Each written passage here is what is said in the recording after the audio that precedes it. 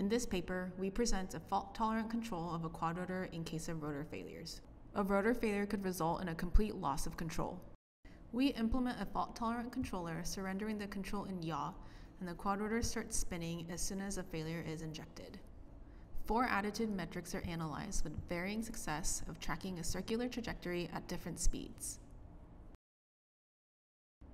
The S2 and thrust vector metrics outperform the full attitude and half angle metrics.